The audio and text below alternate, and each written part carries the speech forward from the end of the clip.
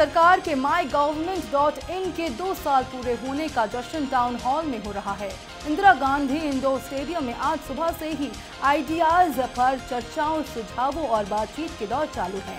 सरकार की फ्लैगशिप योजनाओं के असर और कसर पर खुलकर बात हो रही है। शाम को टाउन हॉल नामक सत्र में प्रधानमंत्री नरेंद्र मोदी खुद माई गाँव वेब पोर्टल पर अपने सुझाव, शिकायत और टिप्पणियाँ करने वालों से मन की बात की तर्ज पर सीधी बातचीत करेंगे। यानी मिनिमम गवर्नमेंट, मैक्सिमम गवर्नेंस के लिए दो साल पहले शुरू हुए सफ़र में मील के पत्थर पर ठहर कर सरकार और जनता देख रही है कि सफ़र कैसा रहा। इससे मोदी सरकार की डेढ़ दर्जन से भी ज़्यादा फ्लैगशिप योजनाओं के गुण दोष पर चर्चा हो रही है। देश भर से आए 2000 लोगों के साथ विभिन्न मंत्रालयों के सचिव और मंत्री दिन भर चर्चाएँ कर रहे हैं। दिल्ली की एक अदालत ने चेक बाउंस मामले में शराब व्यापारी विजय माल्या के खिलाफ गैर जमानती वारंट जारी किया है। कोर्ट ने सरकार से कहा है कि वो माल्या की भारत वापसी के लिए दबाव बनाए दिल्ली की पटियाला हाउस कोर्ट ने माल्या को 4 नवंबर को अदालत में पेश होने का फरमान भी सुनाया है। अदालत ने विदेश मंत्रालय से कहा है कि वो लंदन में रह रहे माल्या को वारंट भेजे। अदालत ने कहा कि बार बार फरमान सुनाए जाने के बावजूद माल्या कोर्ट में हाजिर नहीं हो रहे हैं। उनकी पेशी के लिए कड़े कदम उठाए जाने की ज़रूरत है। वही माल्या के वकील ने कोर्ट को बताया की उनके मुवक्किल देश लौटने की हालत में नहीं है। उनका पासपोर्ट जब्त कर लिया गया है। दिल्ली में आम आदमी पार्टी के 20 विधायकों ने दिल्ली विधानसभा स्पीकर को चिट्ठी लिखकर उनसे सुरक्षा मांगी है। विधायकों ने कहा है, जिस तरह का दिल्ली का माहौल है, उसे देखते हुए उन्हें खतरा है। इसलिए उन्होंने दिल्ली विधानसभा के स्पीकर राम निवास गोयल से मदद मांगी है। विधायकों ने कहा है, उनके कार्यालय में सीसीटीवी कैमरे लगाए जाए, जिससे कार्यालय में होने वाली गतिविधियों को कैमरे में कैद किया जा सके। लगातार शिकायतों के आ रहे मामलों से विधायक इस बात को लेकर चिंतित है। कि तमाम लोग उनसे मिलने आते हैं। कोई कुछ आरोप लगा सकता है, जिसको लेकर विधानसभा सचिवालय गंभीरता से विचार कर रहा है। जम्मू कश्मीर के पूर्व मुख्यमंत्री उमर अब्दुल्ला ने घाटी में हालात पर प्रधानमंत्री नरेंद्र मोदी की चुप्पी को लेकर सवाल उठाया है और उसे दिल तोड़ने वाली और चिंताजनक करार दिया है। उमर ने कल देर रात ट्विटर पर लिखा, दिल तोड़ने वाली और चिंताजनक, केंद्र यहाँ संकट को लेकर कब जागेगा? वो कल हिंसक प्रदर्शनों के बाद सुरक्षा बलों की कार्रवाई में तीन लोगों के मारे जाने पर प्रतिक्रिया दे रहे थे। विपक्षी नेशनल कॉन्फ्रेंस के कार्यकारी अध्यक्ष ने कल घाटी में सुधार संबंधी केंद्र के दावे को लेकर निशाना साधा था। उमर ने लिखा, एक और दुर्भाग्यपूर्ण मौत। आज अनगिनत लोग घायल हुए और केंद्र माननीय उच्चतम न्यायालय को बताता है कि चीज़ें सुधर रही है। सुप्रीम कोर्ट राष्ट्रीय राजधानी को राज्य घोषित करने की मांग से जुड़े दिल्ली सरकार के दीवानी मुकदमे और उपराज्यपाल को दिल्ली का प्रशासनिक प्रमुख ठहराने वाले हाईकोर्ट के फैसले के खिलाफ आप सरकार की अपील की एक साथ सुनवाई करेगा। अरविंद केजरीवाल सरकार ने शीर्ष न्यायालय को सूचित किया कि वे उच्च न्यायालय के गुरुवार के निर्णय के खिलाफ जल्द ही एक याचिका दायर करेगी, जिसके बाद सुप्रीम कोर्ट की पीठ ने मामले को 29 अगस्त तक के लिए स्थगित कर दिया। आप सरकार का अनुच्छेद 131 के तहत दीवानी मुकदमा जब सुनवाई के लिए आया तो पीठ ने कहा कि आप सरकार को मूल दीवानी मुकदमे को आगे बढ़ाने के बजाय दिल्ली उच्च न्यायालय के फैसले को चुनौती देने वाली एक याचिका दायर करनी चाहिए। दिल्ली की ही तरह पुडुचेरी में भी उपराज्यपाल और सरकार के बीच खटपट शुरू हो गई है। यहाँ की उपराज्यपाल किरण बेदी और मुख्यमंत्री वी नारायण स्वामी के बीच सब कुछ ठीक नहीं चल रहा है।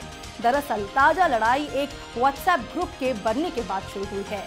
ये व्हाट्सएप ग्रुप किरण बेदी ने बनाया है। इस ग्रुप में उन्होंने कई सरकारी अधिकारियों को तो शामिल किया, लेकिन मुख्यमंत्री और उनके कैबिनेट मिनिस्टर्स को दरकिनार कर दिया। ये बात नारायण स्वामी को पसंद नहीं आ रही। इसके बाद नारायण स्वामी ने सभी सरकारी अधिकारियों को चेताया है कि वे सोशल मीडिया पर मिल रहे ऑर्डर्स की जगह उनकी बात को फॉलो करें।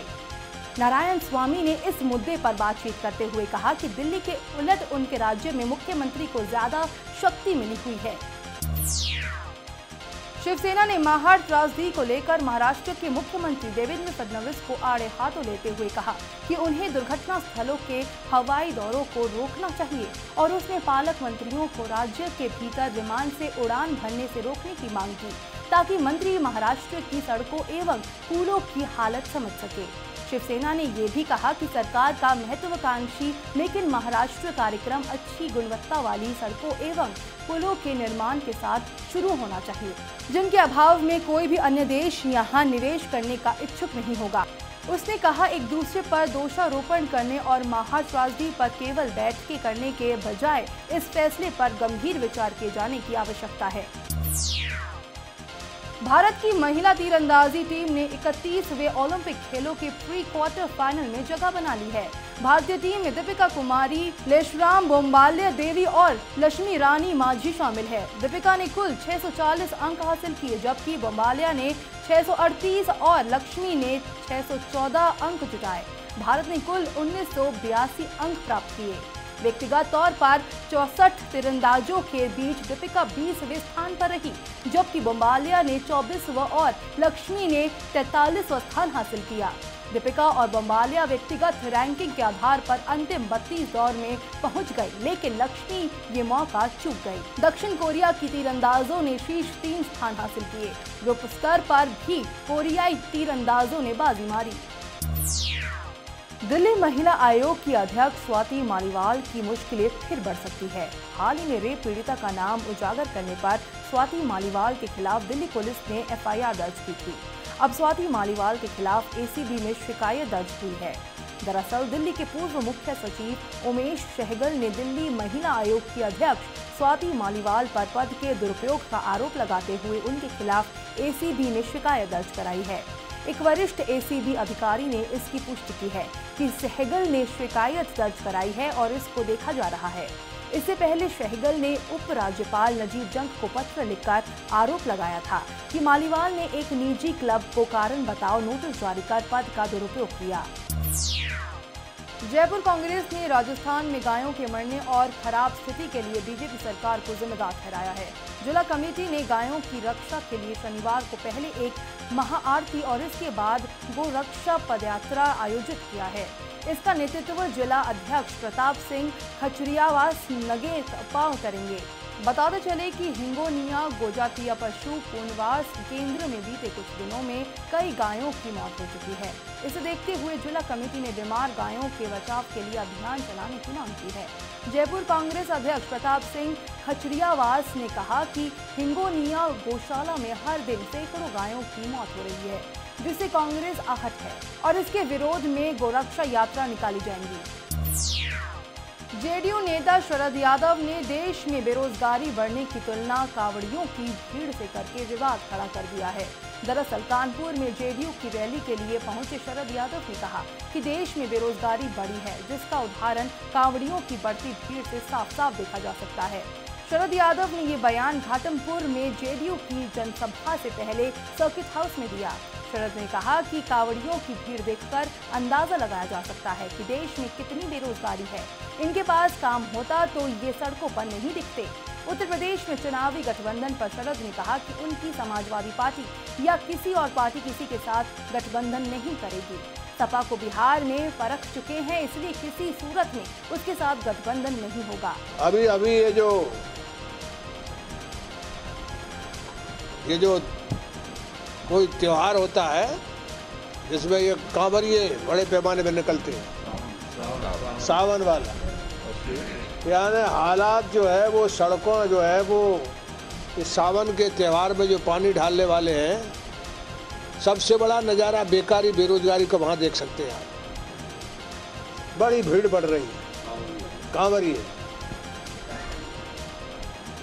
वो इतनी बड़ी भीड़ नहीं होती यदि मोनों को काम होता तो। वैष्णो देवी मंदिर के पास लैंडस्लाइड के दौरान चट्टान गिरने से चार लोगों की मौत हो गई। वही सात लोग जख्मी हुए हैं। मरने वालों में एक बच्चा और एक महिला शामिल है। पुलिस ने बताया कि ये घटना अर्धकुमारी मंदिर के पास हुई, जिसमें एक शख्स की मौत मौके पर ही मौत हो गई है। वही ज़्यादातर श्रद्धालुओं को सिर में चोटें आई हैं। जिस जगह ये लैंडस्लाइड हुआ है, वहाँ से वैष्णो देवी मंदिर करीब छह किलोमीटर दूर है। घायलों को कटरा के कम्युनिटी हेल्थ सेंटर में एडमिट कराया गया है। आपको बता दें कि घटना उस वक्त हुई जब श्रद्धालु माँ वैष्णो के दर्शन के लिए गुफा की ओर बढ़ रहे थे। अमेरिका में प्रेसिडेंशियल इलेक्शन के लिए कैंपेनिंग का दौर जारी है। डेमोक्रेटिक पार्टी के हेरी क्लिंटन और उनके opponent Republican Donald Trump voters को लुभाने की कोई कसर बाकी नहीं छोड़ रहे। कैंपेनिंग के इसी दौर में एक स्पीच के दौरान हिलरी क्लिंटन अपने अपोनेंट डोनाल्ड ट्रंप को हस्बैंड बता बैठी। हालाँकि वो हस्बैंड शब्द नहीं बोल पाई और खुद को फ़ौरन संभालते हुए कहा, मेरे ओपोनेंट इसी बारे में बात कर रहे हैं। इसके बाद उन्होंने काफ़ी संभल कर आगे की बात कही। उन्होंने अपनी और ट्रंप की पॉलिसीज़ में अंतर को लेकर रिपोर्ट्स को जानकारी दी। बता दें कि हिलेरी के पति का नाम बिल क्लिंटन है। बिल खुद दो बार यूएस प्रेसिडेंट रह चुके हैं।